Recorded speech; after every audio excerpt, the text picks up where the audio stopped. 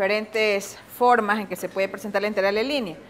Y habíamos visto también la interpretación física de alguna de estas formas. En, cuanto a la forma vectorial y también la forma diferencial, eso se puede interpretar como el trabajo realizado por un campo de fuerzas al mover un objeto a lo largo de una trayectoria. Y la forma escalar, habíamos dicho que puede representar la masa de un alambre que está doblado de la forma que indica la trayectoria y cuya función de densidad de masa es f de x, y, z, o f de x, y si es en el plano. Entonces vamos a ver ahora ejemplos de cómo ir evaluando estas integrales de línea. Por lo tanto, no vamos, eh, en algunos casos vamos a decir si es el trabajo lo que queremos calcular, en otros casos las vamos a poner directamente y cada uno eh, de, estos, de estos problemas tiene como objetivo que nosotros podamos reconocer en qué forma está dada la integral de línea y cómo hay que resolverla. O plantearla, dependiendo de la pregunta que nos estén haciendo. Bien, entonces, por ejemplo, nos dicen calcular el trabajo realizado por el campo de fuerzas f de x y z igual un medio de x y menos y cuadrado j más z cuartos k. Determine el trabajo realizado por el campo de fuerzas al mover un objeto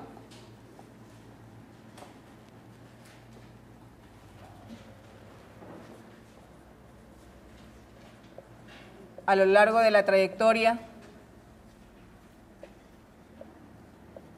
helicoidal R de t igual coseno de ti más seno de tj más tk, coma, con t elemento del intervalo de 0 pi.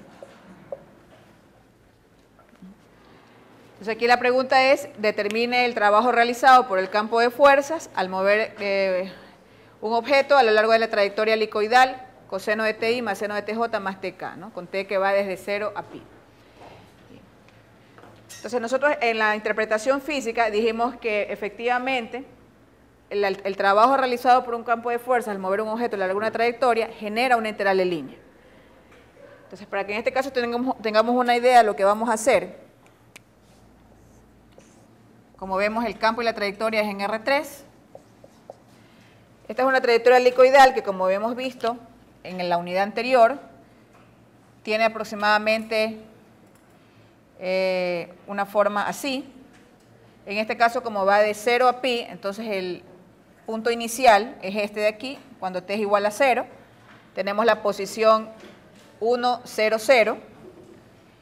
Y cuando t llega hasta pi, tenemos la posición menos 1, es decir, en la parte de atrás, puede ser, entonces más o menos por ahí el arco, 0 eh, en y y tenemos pi en, en z, ¿no? Entonces este es un bosquejo de la trayectoria. Y hay un campo de fuerzas que está actuando aquí en la región. Obviamente no podemos dibujar todos los vectores fuerza, porque como, como vemos, el vector depende de la posición.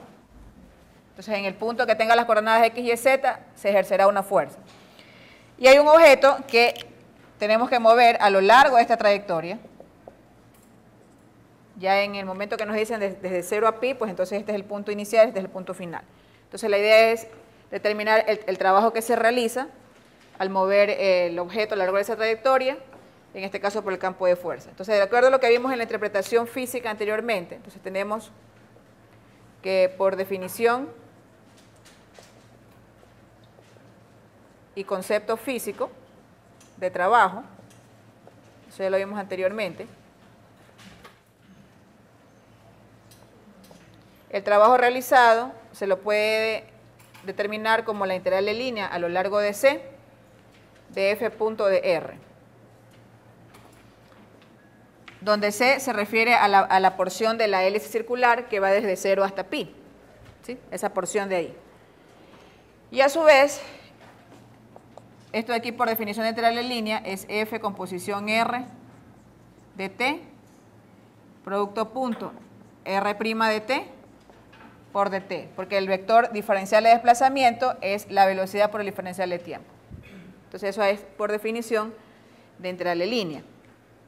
¿Estamos de acuerdo? Entonces ya sabemos que el trabajo realizado por un campo de fuerza se lo plantea como esta integral en línea y a su vez por definición de integral en línea esto es igual a lo de acá.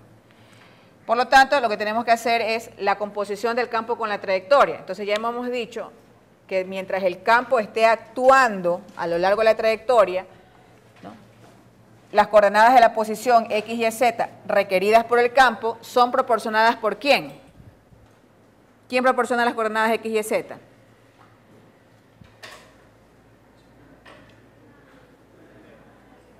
La, proporciona la función que representa a la trayectoria, ¿verdad? Así es. Entonces, este X debe ser reemplazado por coseno de t. Entonces, eso significa hacer la composición. Esto es un medio coseno de t. ¿Cómo? Donde dice menos y cuadrado, tenemos que colocar menos seno cuadrado de t. ¿Sí? Donde dice z sobre 4, es t sobre 4. Porque mientras el campo esté actuando en los puntos de la trayectoria, la posición que requiere el vector f es proporcionada por el vector posición que da la trayectoria. Y el vector posición que da la trayectoria está parametrizado de esta manera. Ahora por punto R'. Necesitamos la velocidad de la hélice circular, en este caso es menos seno de t, coseno de t, 1 por dt.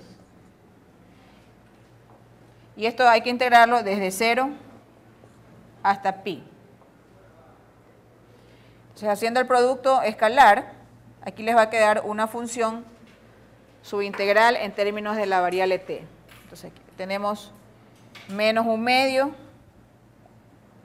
por coseno de t por seno de t menos seno cuadrado de t por coseno de t más t sobre 4. Esta es la función subintegral en términos de t. Aquí en este caso nos están quedando integrales de tipo trigonométrico. Bien, entonces podemos, la primer, el primer término lo vamos a plantear de la siguiente manera. Vamos a multiplicar por 2 y dividir para 2. De tal forma que el 2 es decir, multiplico por 2 numerador y divido para ese 2 que aumenté, de tal forma que arriba el 2 coseno de t seno de t lo puedo expresar como el seno de 2t. Entonces esta integral es inmediata. Ya, por dt. Luego la otra integral la voy a expresar de la siguiente manera. Yo sé que el coseno de t por dt lo puedo expresar como el diferencial del seno de t. voy a poner seno cuadrado de t por diferencial del seno de t. Esa es una forma de integrar introduciendo un, eh, un factor en el diferencial. Más la integral de 0 a pi de t sobre 4 por dt. Entonces esta es inmediata, esta también es inmediata, porque la variable de la integral ahora viene a ser seno de t, y esta también es inmediata.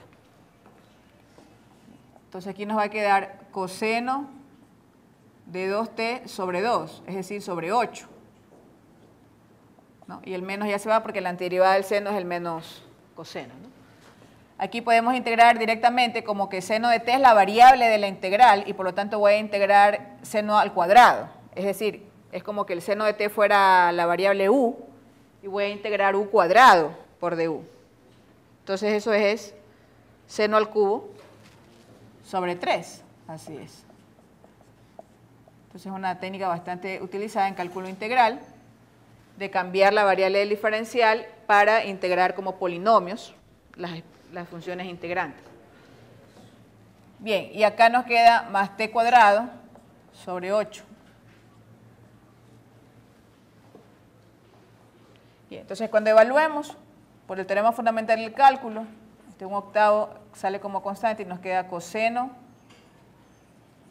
de 2pi menos coseno de 0, aquí menos un tercio por seno cubo de pi menos el seno cubo de 0, y aquí más un octavo que multiplica a pi cuadrado menos 0. Bien, entonces esto es 1 menos 1, que suele ocurrir en las integrales trigonométricas, a veces dependiendo del intervalo de integración se elimina, esto es 0 menos 0, y aquí queda simplemente pi cuadrado sobre 8. Entonces la respuesta es pi cuadrado sobre 8. Entonces, asimismo, si el campo está en newtons, bueno, en este caso eh, no especificamos eso porque no es realmente un ejercicio de eh, propiamente de la asignatura de física, pero si el campo está en newtons y la trayectoria está expresada en metros, entonces eso sería en joules, pi cuadrado octavos joules. Ese es el trabajo que realiza el campo al mover un objeto a lo largo de esta trayectoria, suponiendo las condiciones ideales para calcular el trabajo. Bien, ¿tienen hasta ahí alguna pregunta?